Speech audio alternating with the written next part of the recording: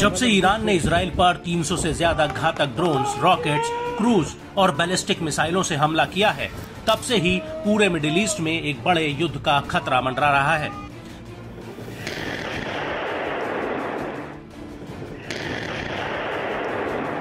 यहाँ तक कि इस हमले के बाद इजरायली प्रधानमंत्री बेंजामिन नेतन्याहू ऐलान कर चुके हैं कि वो ईरान से सीधे युद्ध की तैयारी कर रहे हैं।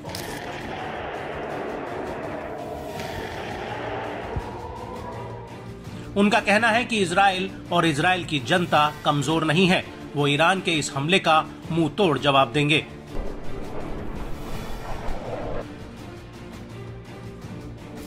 लेकिन इस हमले को लेकर पूरी दुनिया अब दो खेमों में बट गई है।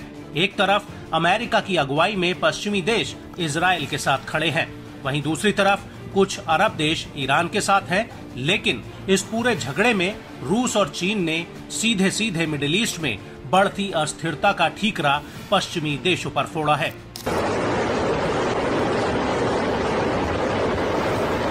दरअसल, ईरान के इस हमले को लेकर अब रूस के विदेश मंत्रालय का आधिकारिक बयान आया है, जिसमें रूस के विदेश मंत्रालय ने कहा है कि 14 अप्रैल के शुरुआती घंटों में कई मिसाइलें और ड्रोन्स इसराइल पर दागे गए। ईरानी विदेश मंत्रालय के मुताबिक ये हमला संयुक्त राष्ट्र के चार्टर के अनुच्छेद इक्यावन के तहत किया गया था, जो इलाके में ईरानी टारगेट्स पर हुए हमले के जवाब में था।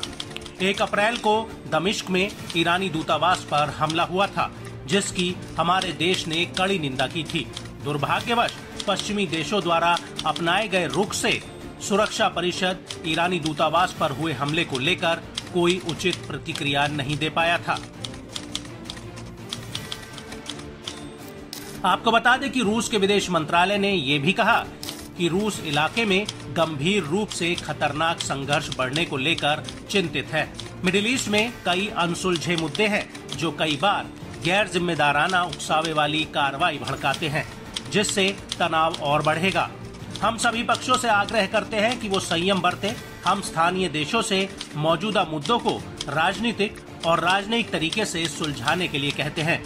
हमें विश्वास है कि रचनात्मक सोच रखने वाली अंतर्राष्ट्रीय संस्थाएँ इसमें योगदान देंगी। वहीं दूसरी तरफ़ चीन ने भी मिडिल ईस्ट में हालिया घटनाक्रम को लेकर चिंता ज़ाहिर की है। लेकिन चीन ने प्रभावशाली देशों से इलाके में तनाव को स्थिर करने के लिए कहा है। चीन के विदेश मंत्रालय का कहना है कि वो मौजूदा संघर्ष को लेकर गंभीर रूप से चिंतित है। चीन ने अपने बयान में कहा कि हम सभी पक्षों को संयम बरतने का अनुरोध करते हैं और संघर्ष को आगे रोकने के लिए संयम बरतें। मौजूदा हालात गाजा संघर्ष की वजह से हुए हैं।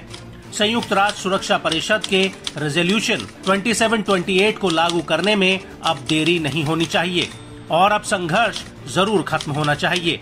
चीन अंतर्राष्ट्रीय समुदाय विशेषकर प्रभावशाली देशों से अनुरोध करता है कि वो इलाके में शांति और स्थिरता स्थापित करने में रचनात्मक भूमिका अदा करें।